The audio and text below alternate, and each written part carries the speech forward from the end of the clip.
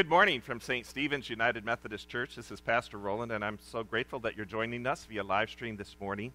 Uh, in light of all of what's happening in our nation and the course of this week, I just want to share a portion of a letter that our bishop sent to all of us, and you can find that on our Facebook page as well uh, in its entirety. But uh, it just reminds us of what we believe in terms of uh, being United Methodist in the midst of this difficult time uh, in some of the relationships that we're sharing as a people in this great nation. In 2016, the General Conference passed a resolution that I have reproduced below. The resolution was recently included in a letter from the Council of Bishops. It is a reminder of what we believe and a call for us to commit to act on our beliefs. And this is that excerpt this morning. Because we believe that God is the creator of all people and all are God's children in one family, that racism is a rejection of the teaching of Jesus Christ, that racism denies the redemption and re- reconciliation of Jesus Christ, that racism robs all of humanity, beings of the wholeness, and is used as a justification for social, economic, and environmental and political exploitation that we must declare before God and before one another that we have sinned against our sisters and brothers of other races in thought, in word, and in deed. That our common humanity is in creation. All women and men are made in God's image, and all persons are equally valuable in God's sight. That our strength lies in our common humanity, in creation. That our strength lies in our racial and cultural diversity, and that we must work toward, the, toward a world in which each person's value is respected and nurtured. That our struggle for justice must be based on new attitudes, new understandings, and new relationships, and must be reflected in laws, policies, structures, and practices of both church and state. Therefore, we commit ourselves as individuals and as a community to follow Jesus Christ in word and in deed and to struggle for the rights and self determination of every person and groups of persons. Let us not be deceived by raceless propaganda. It is not of God. Instead, let us follow Jesus Christ. And it's signed James Nunn, our bishop. And I appreciate that letter so much in light of all of what's happening in the country around us that we need to remember that we are created in the very image of God, and that we're all created in the image of God, and that God loves each one of us dearly, and that we need to love in a special way in this time. That we need to find ways to show and appreciate our love for people of different cultures and different races, that we are all God's children, and that we have to love and care for one another. I'm praying that God will send revival on our land, that we can experience the fullness of God's love in amazing ways, and that we can open our hearts to new possibilities of loving people for who they are, God's creation.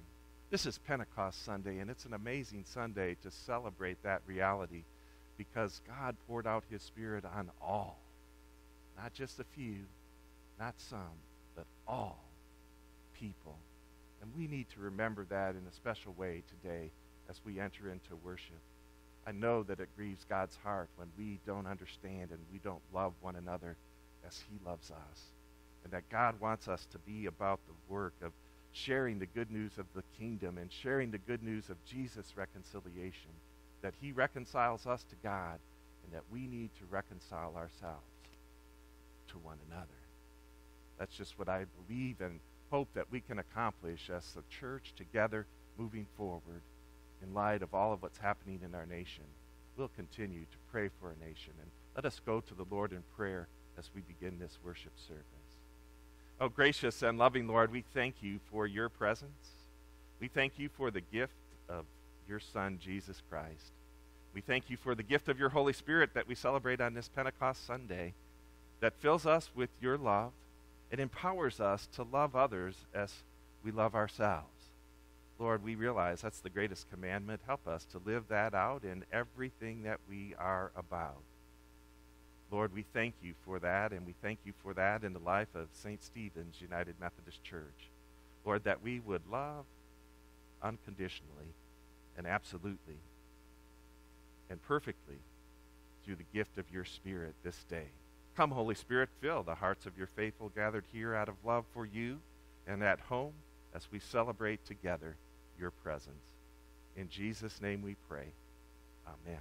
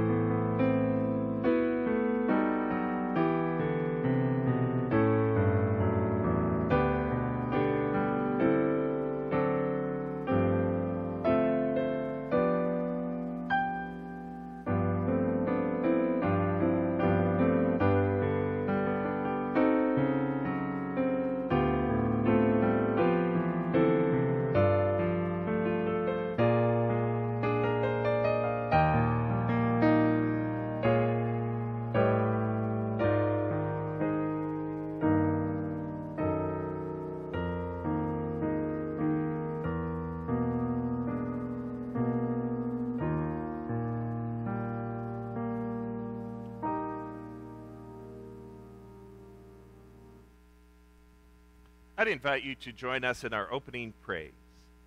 Come, Holy Spirit, inspire our hearts with your fiery presence. Let, your, flame burn within us, stirring us to action. Come, Holy Spirit, energize our lives to work for God. Let your wind of hope swirl around us, lifting and moving us from complacency.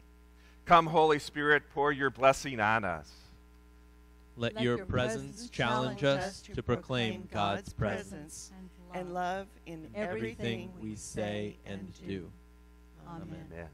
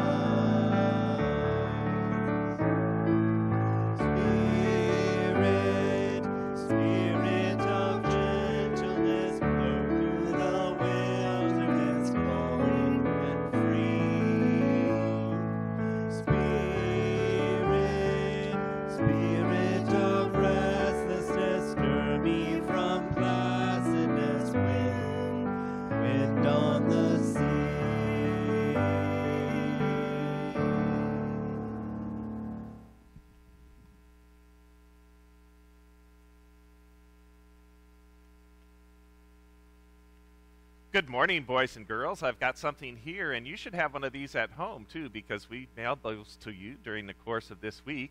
And what is this? It's a little pinwheel, isn't it? So if you blow on that gently, what's going to happen?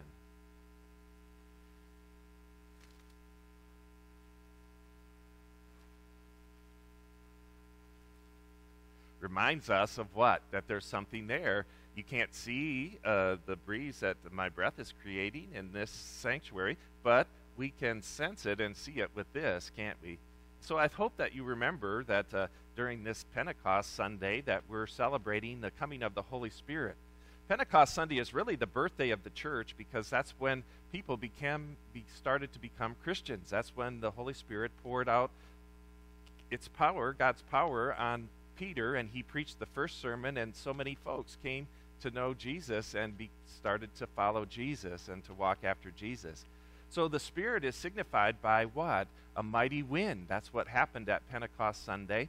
But it's also signified by a flame. And it seems like the appropriate thing to do today to light a candle because since it's kind of the birthday of the church, what do you do on uh, birthday days? You light a candle, don't you? On the cake generally, but you light a candle. So let's do that this morning as well as we think about how the Holy Spirit works and moves in the church. The Holy Spirit is wind, and the Holy Spirit is flame. Wind and flame are important for us to remember on this Pentecost Sunday. We remember these things. We remember that the Holy Spirit moves in the wind. We remember that the Holy Spirit allows us to have the flame, which does what? It helps to purify us. It helps us to do the right thing and to love people more fully and more completely. It empowers us and equips us to be what? God's children. So if you didn't receive one of these this week, call into the church or whatever, and we will make sure that you get one of these. If you're a child in the life of our church, uh, we don't have enough for every adult, but we've got enough for all of the kids. So if you didn't get one of these by mistake, we'd love to have you on the mailing list where you can get all of the information that we're doing uh, remotely for uh, Sunday school. Uh, but remember that the Holy Spirit is wind and fire. As we think about that today.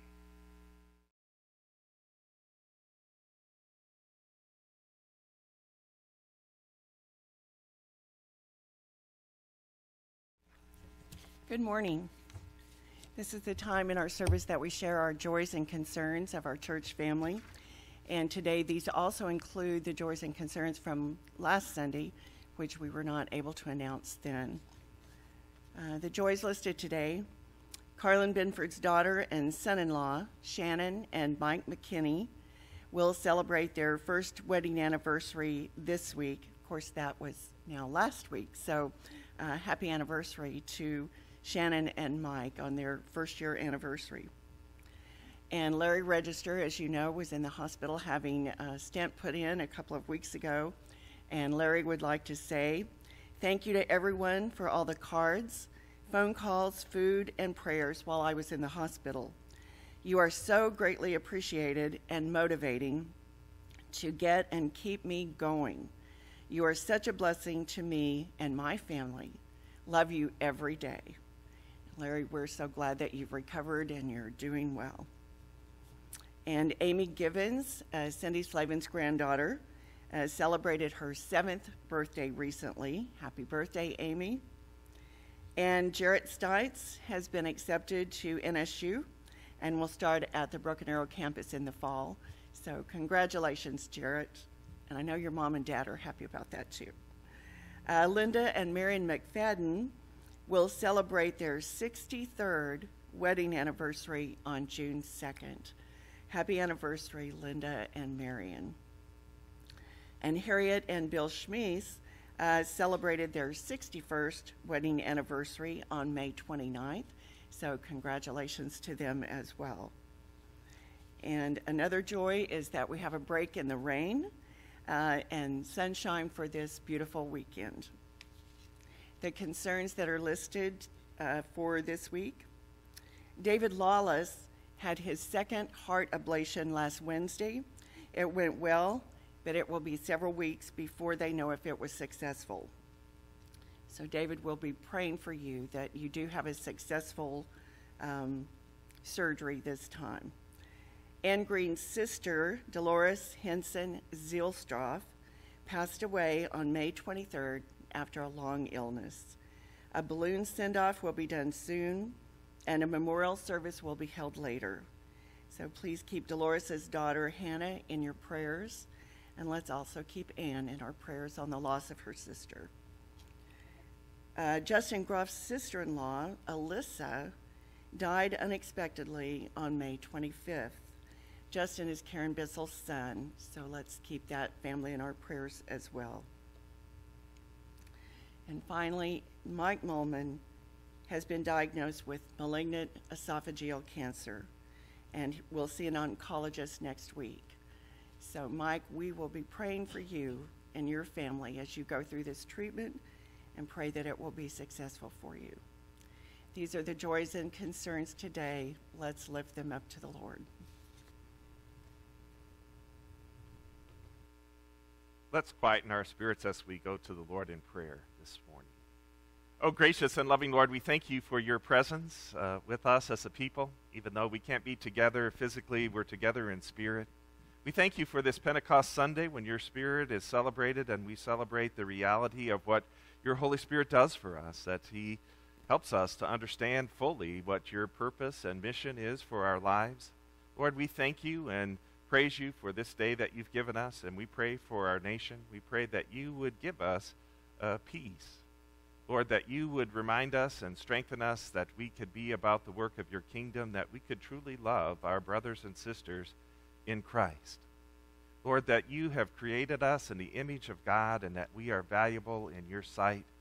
Lord, help us not to diminish that reality with hate or fear or uh, misunderstanding in our hearts, but help us to live life in love Help us to truly be the church. Help us to be the body of Christ in this community and throughout this United States and throughout the whole world. Lord, we thank you and praise you for that possibility this day. We thank you and praise you for your goodness and for your mercy and for your great grace. We thank you for the amazing gifts that you give us the gift of life and the gift of new life in your Son, Christ Jesus. And we thank you for the gift of the Holy Spirit that we celebrate on this Pentecost Sunday. We thank you that the Holy Spirit is present with us uh, to reveal Jesus to our lives and to our hearts and to our minds. And Lord, we thank you and praise you that as we experience the risen Christ in our lives through the grace and power of your Holy Spirit, that we could remember that you are indeed the great physician, the one who heals us. We pray that you would be with all of those that need your healing presence this day. We realize and acknowledge that you're greater than any disease. You're greater than cancer. You're greater than any disease that would come against us in the midst of life. And we thank you that your healing presence would be released in the lives of all of those that need that touch. We also gratefully acknowledge today that your Holy Spirit is the comforter, the one called alongside us to be our helper, and we pray for those that have lost loved ones in these recent days. Lord, that you would be with them to comfort and to strengthen and encourage as only you can. Lord, we thank you and praise you for the reality that this is not our permanent dwelling place, but that we're simply sojourners in this world and that you have created us uh, with eternal spirits and that we can be in your presence even after death here because we realize that Jesus has conquered that on our behalf. And we realize that we can trust and know and understand completely within our hearts and within our spirits that we live eternally with you as we've committed our hearts to follow you and your kingdom.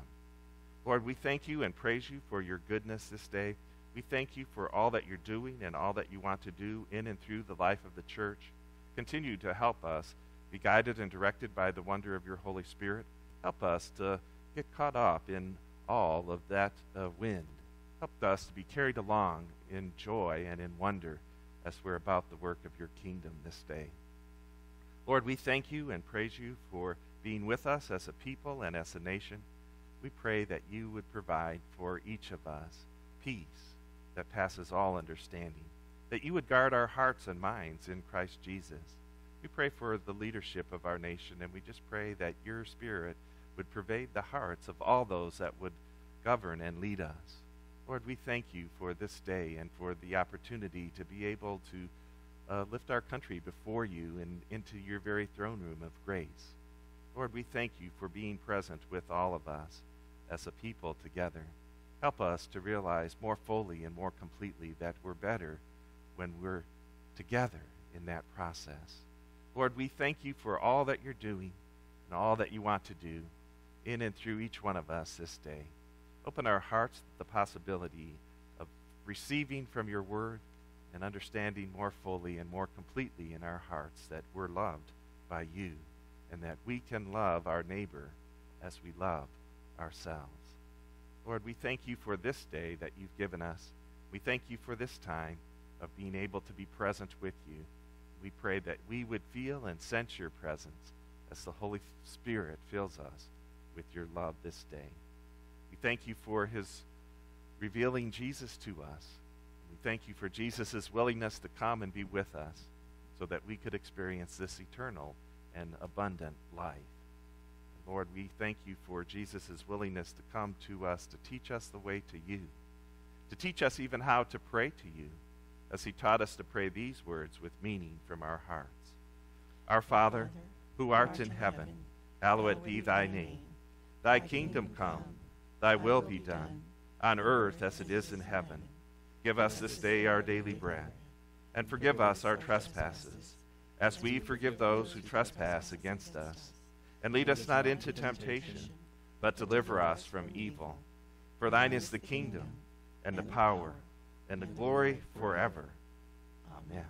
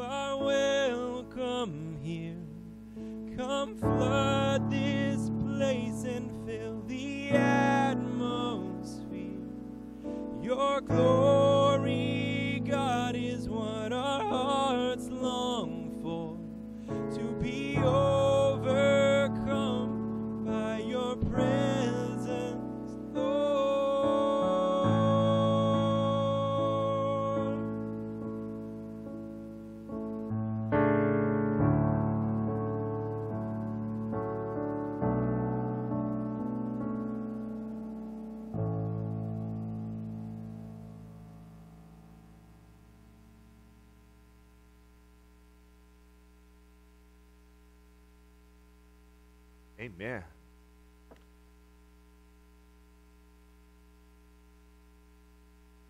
Just want to take a moment to remind you and to say thank you for your continued generosity in the midst of this time of uh, uh, doing things via social distance. And we appreciate your generosity toward the church.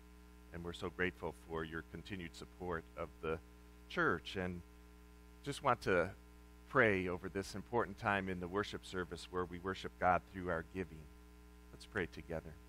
Oh, gracious and loving Lord, we thank you for this opportunity to give our very best to you. As we give these gifts to you, we realize that uh, we give them to your kingdom, that your kingdom might come in fullness right here in this community, but around the world as well. We thank you in advance for the generosity of the hearts of the givers. Bless each in that generosity, for we know and realize fully deeply within our spirits that we would never be able to outgive you. You give us all the good gifts. You give us the gift of life. You give us the gift of renewed life through your Son, Jesus Christ. You give us the gift of your Holy Spirit that we celebrate on this Pentecost Sunday. You give us all the things that are good. And today we say thank you for that as we give back a portion of what you've blessed us with. And we know that we would receive again many times uh, for that process. And we're so grateful for your presence uh, with us in this time of giving.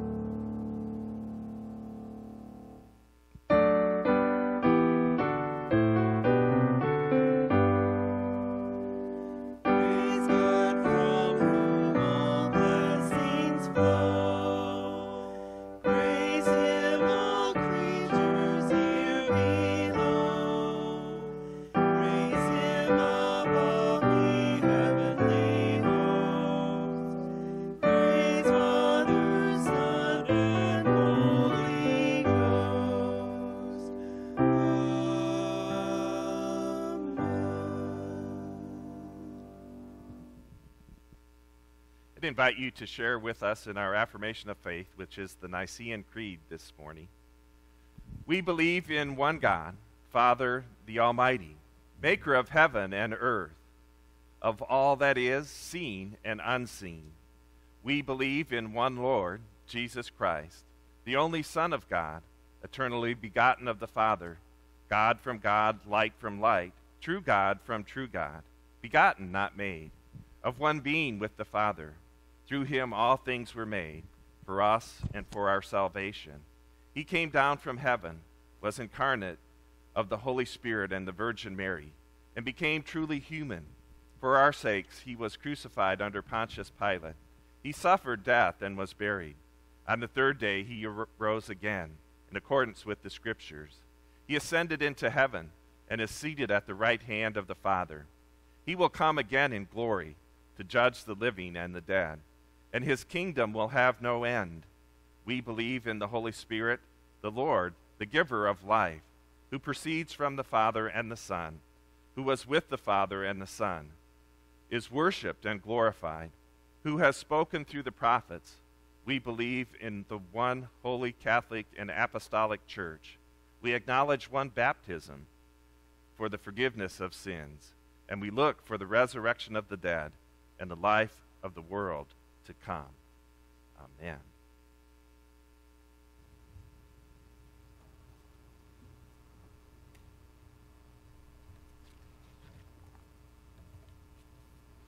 Our scripture lessons begin with a prayer of illumination. Let us pray. Lord, open our hearts and minds by the power of your Holy Spirit, that as the scriptures are read and your word proclaimed, we may hear with joy what you say to us today. Amen. The first reading is from Psalm 104. O Lord, how manifold are your works! In wisdom you have made them all. The, the earth is full of your creatures. Yonder is the sea, great and wide. Creeping things innumerable are there, living things both small and great. There go the ships and Leviathan that you formed to sport in it. These all look to you to give them their food in due season. When you give to them, they gather it up. When you open your hand, they are filled with good things. When you hide your face, they are dismayed. When you take away their breath, they die and return to their dust. When you send forth your spirit, they are created, and you renew the face of the ground. May the glory of the Lord endure forever. May the Lord rejoice in his works, who looks on the earth and it trembles, who touches the mountains and they smoke. I will sing to the Lord as long as I live. I will sing praise to my God while I have been. May my meditation be pleasing to him, for I rejoice in the Lord.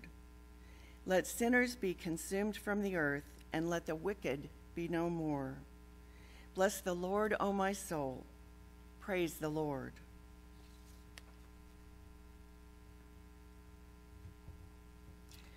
And the first New Testament reading is from uh, chapter 2 of Acts. When the day of Pentecost had come, they were all together in one place. And suddenly from heaven, there came a sound like the rush of a violent wind, and it filled the entire house where they were sitting. Divided tongues, as of fire, appeared among them, and a tongue rested on each of them. All of them were filled with the Holy Spirit and began to speak in other languages as the Spirit gave them the ability. Now there were devout Jews from every nation under heaven living in Jerusalem. And at this sound, the crowd gathered and was bewildered, because each one heard them speaking in the native language of each. Amazed and astonished, they asked, Are not all these who are speaking Galileans? And how is it that we hear, each of us, in our own native language? Parthians, Medes, Elamites, and residents of Mesopotamia Judea and Cappadocia, Pontus and Asia, Phrygia and Pamphylia, Egypt and the parts of Libya belonging to Cyrene, and visitors from Rome, both Jews and proselytes, Cretans and Arabs. In our own languages, we hear them speaking about God's deeds of power. All were amazed and perplexed, saying to one another, What does this mean? But others sneered and said, They are filled with new wine. But Peter, standing with the eleven, raised his voice and addressed them Men of Judea and all who live in Jerusalem, let this be known to you and listen to what I say.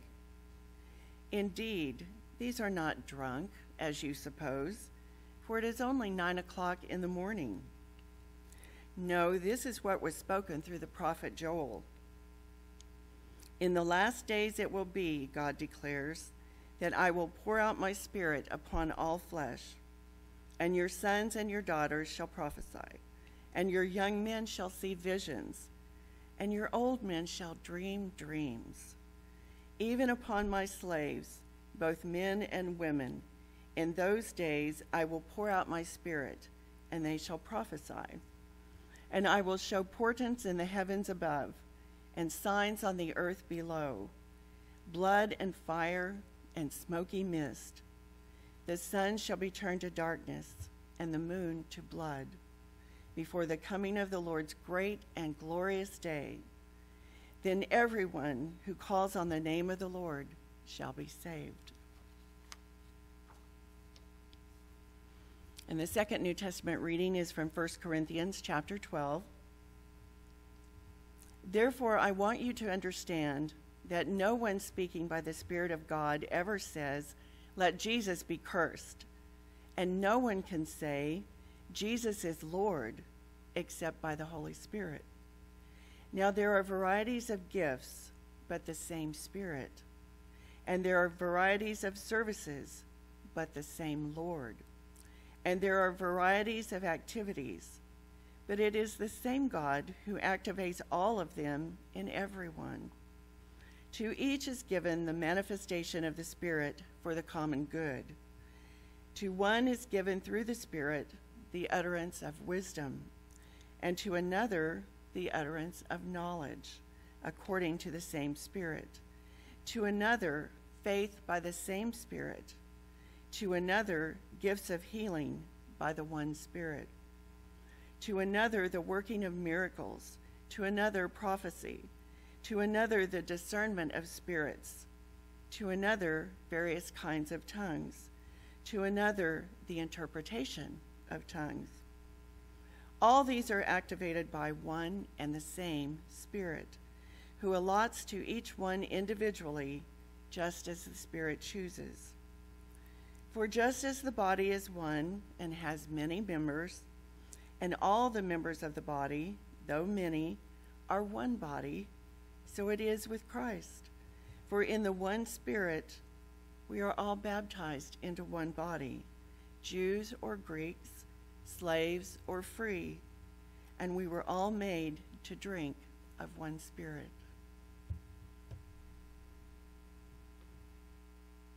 Our gospel lesson for this morning comes from the Gospel of John, chapter 7, verses 37 through 39.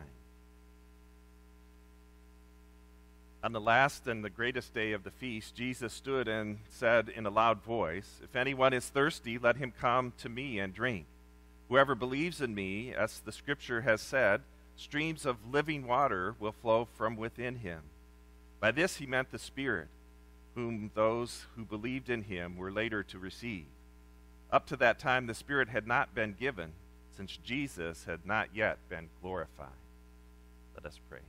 Lord, now may the words of my mouth and the meditation of all of our hearts be acceptable to you, O Lord, our rock and our Redeemer, and we'd be quick to give you all of the praise and all of the glory. Amen.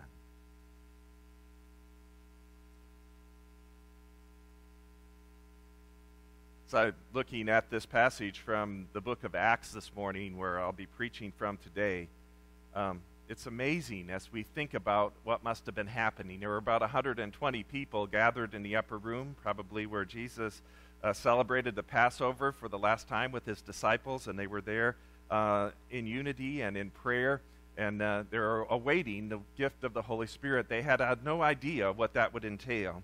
But here it comes. And it says, When the day of Pentecost came, they were all together in one place. And suddenly a sound like a blowing of a violent wind came from heaven and filled the whole house where they were sitting. And they saw what seemed to be tongues of fire that separated and came to rest on each of them. Can you imagine the scene? Their surprise, certainly. Have you ever been surprised by the wind? I've been surprised by the wind on a couple of occasions. One time when I was a young boy, we had gone to Traverse City, Michigan, one of the most beautiful places in the world, in my opinion. It's just a glorious place, and we went over there to pick cherries for the family. It was just a family day away, and we did some things and picked cherries, and then we always got to go to the lake. And that year, I remember talking my dad into taking the little fishing boat. We had a little aluminum fishing boat, about a 12 footer, in that process, and uh, to take it out on what was called Round Lake then. I've noticed that as I've looked at Google Earth to think about that, is a different name. It's called Lake Skegemog now, and I don't know why the change happened, but it was at Round Lake, and it was beautiful. You, you can imagine the wonder of that moment. The sky was blue, there wasn't a cloud in it. It was just gorgeous and completely amazing. The water was crystal clear, but yet at the same time, there was a beautiful blue hue in it it was amazing. It's like the ocean almost because the lake was so large. And the trees were green, and I was ready to go fishing, and we launched the boat, and we got out there a little ways, not too far from shore, and then something happened. All of a sudden, it was a surprise to everyone. The wind just really picked up. And I mean, it picked up in a hurry, and it picked up hard. And as that wind was blowing and continuing to blow, the waves got a little bit bigger and a little bit bigger. And then my dad started getting a little bit worried, I could tell. He said, We're going to have to go in. He hated to disappoint us because I lived for fishing. I lived for those moments like that. And I was thinking, but I wasn't so concerned about going in because I remember my dad faced the boat into the waves. And as we were going over the waves, I could see the little Johnson outboard motor and I could see the propeller spinning as we went over the waves. That was a scary moment in that process. We were what? Surprised. The disciples were surprised as well, I think, when the Holy Spirit descended upon them and filled them with power and with grace and with all that was needed. Think about what's happening in today's scripture. There is the wind that's blowing in the life of the church uh, when it's becoming the church. There was no church at that moment. There were 120 faithful people gathered in the upper room, and then the Holy Spirit descends, and what happens? The first sermon is preached. The Holy Spirit descends on each of those individuals, and, and Peter gets up and begins to preach in that process. And first, they receive the gift of the Spirit, and they're all together in that place. And what, a, what do they do? They begin to speak in various languages, in the language of all of the people that were present there. And I love this passage because it reminds us that God is not a favorite haver, that God, God loves all of humanity, that God loves every person in every way. And that's the good news that we share today in the midst of all of what's happening in our society. I think as well that God is not a respecter of persons, that God loves us all. And He poured out His Holy Spirit on all those persons that were there. And the they began to speak in unknown languages without any help in that process other than the gift of the Spirit. And every person that was gathered in that community began to hear them. And then there was a few skeptics that came and says, oh, these guys must be drunk. And then what happens? No. Peter declares certainly that they're not drunk because it's what? Only 9 o'clock in the morning. It's only 9 o'clock in the morning, and he got up with the 11 and they stood together and he raised his voice and he addressed the crowd fellow jews and all of you who live in jerusalem let me explain this to you. Listen carefully to what i say. These men are not drunk as you suppose. It is only nine in the morning. No this is what was spoken by the prophet joel. He goes on to quote joel from the old testament. In the last days god says i will pour out my spirit on all people I love that verse. That verse is central to what we have to be about in the course of these ensuing days and weeks and years. That God has called us to realize that we are one in God's Spirit. That we have to love one another completely and absolutely, and that means that we have to find ways to forgive and to let go and to move forward in the life of the Spirit. That we need to find ways to find healing as a people and as a nation and that we need to find ways to realize what is really important in the midst of life. And that is one thing to know and experience the gift of Jesus Christ in our hearts and in our lives together.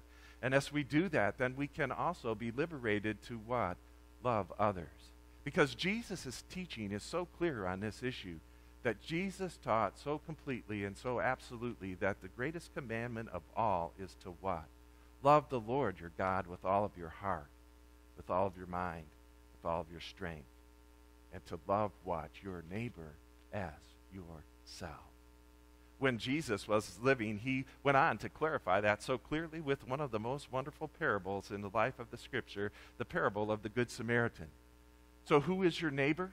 And as we read through that story and as we read through that teaching of Jesus, we come to understand fully and completely that everyone is our neighbor. That we need one another, that we cannot do this apart from one another. We're the best when we're working together. And that's what we have to be about doing to solve the problems of this great nation. That we can't do that apart from the spirit and wonder of God.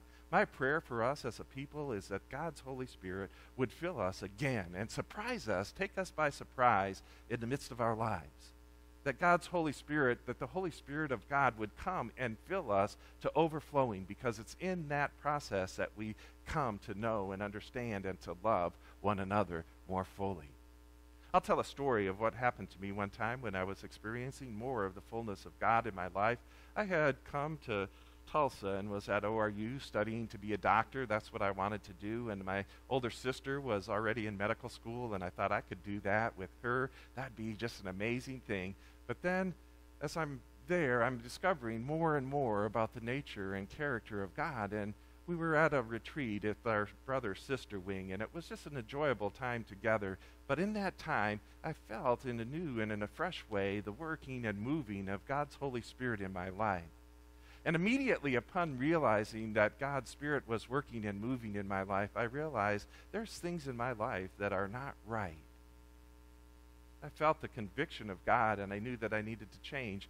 My brother had a kind of a crush on a girl in the sister wing, and there was another guy on our brother wing that kind of uh, stole her, kind of right out from underneath him. And I was angry at that person. And then I realized in that moment that I needed to let go of that.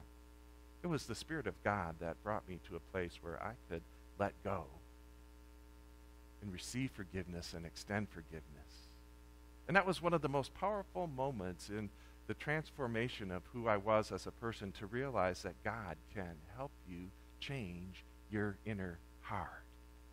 I love King David from the Old Testament. King David, although he was a broken man and he did some things that were incredibly wicked, was called a, God, a man after God's own heart. That's how he's described in the Old Testament. And why is that? I think it's because David always knew that the Spirit could search him and know him. And as the Spirit knew him, he had the power to what? Change and become who God wanted him to be.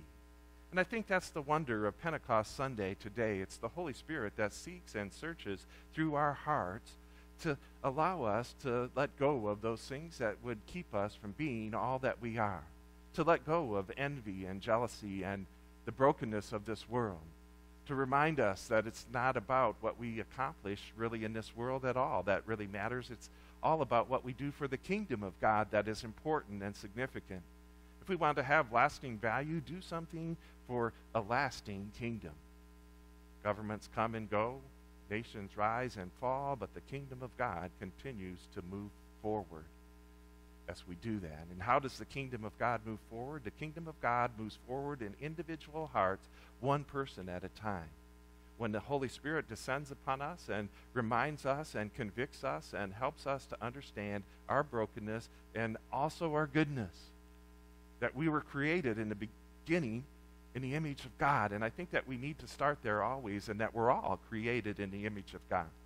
We're very different individuals in the life of the world, and I know that God loves diversity because He created so many different kinds of people and so many different colors of people and so many different people, but He loves them all. And He loves them equally, that He cares about every human being on this planet that He's made because He's made them and we should respect and appreciate and love others as well because we know that we're loved by God. And when we're set free by God's love in our hearts, we can love others in that light. That's my hope for our country. That's my hope for the world today is that we would lay hold of that in a new and substantial way. That we would not fear the Holy Spirit. I have to admit, when I was out there on that lake and I could see that propeller spinning, there was a little bit of fear in my heart. It was scary.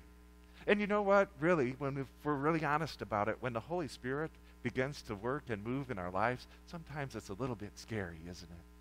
Sometimes it's just a little bit scary, but God would remind us that He loves us always in that journey and that He redeems us. Think about the preacher for today as we look at what he preaches in the last days. He says, God will pour out His Spirit on all people. Your sons and your daughters will prophesy, your young men will see visions, and your old men will dream dreams. We can dream big dreams for our nation. Others have done it in the past. We can dream big dreams for who we are and what God wants us to be because God wants us to be Christian in our heart. God wants us to be loving in our heart. God wants us to be accepting of others and care for others and be realizing that in the midst of life that God poured out his Holy Spirit on all people. not just us, not just me, not just you, but all people, and that God cares for us. And if that Spirit would dwell in us completely and absolutely, we can change our attitudes and our heart and our spirit about what we believe and what we think and how we relate to one another.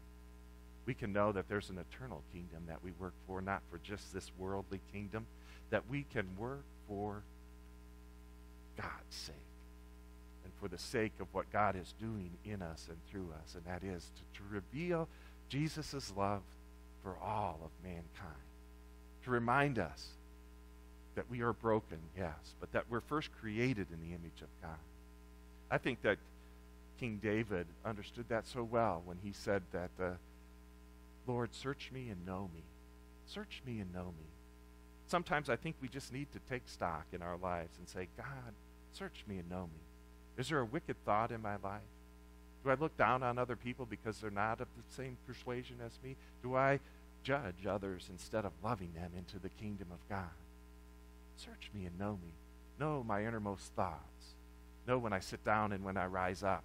Because we know that God does, but we oftentimes need to give the Spirit permission to come and fill us and to convict us and to help us to realize that it's with the power of the Spirit that we have the ability to change our attitudes and our lives together. Apart from that, I don't have much hope for the world, really, in that journey, because I think that we might know what's right, but it's very difficult to do what's right apart from God's help. And that's what John Wesley taught when he taught us and thought, helped us to realize that it's the Holy Spirit or God's grace working in us that brings us to what? A point of being able to be sanctified, to be made different, that God sees us as whole when we accept and embrace God, but that we have to become all of how God sees us in the world. And that is when we live it out, loving one another. That we have to love one another completely and absolutely and unconditionally. That we're called to that end and to that purpose. That we have to forgive. That we have to let go of what we want to hold on to sometimes to give God the room to work in all of our lives together. I've got great hope for all of us as a church and as a nation and as a people because I believe that the Holy Spirit wants to fill us again. Spend time seeking the gift of God's Holy Spirit in your life. It'll empower you. The Holy Spirit will empower you to become all of what God made you to be. That's really what I believe today in the name of the Father and of the Son, and especially of that precious Holy Spirit.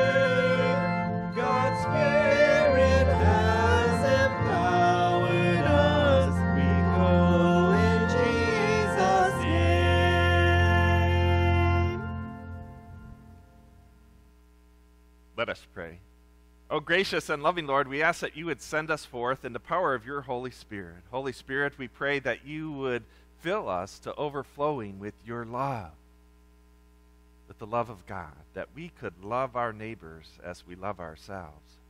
Help us to be able to live life in that light, and we would know and believe and trust and realize that all the rest would take care of itself. Lord, we thank you today that as we go forth from here, we could find tangible, concrete ways to express your love to the world around us. Help us to do that in the power of your Spirit this day. In Jesus' name, amen.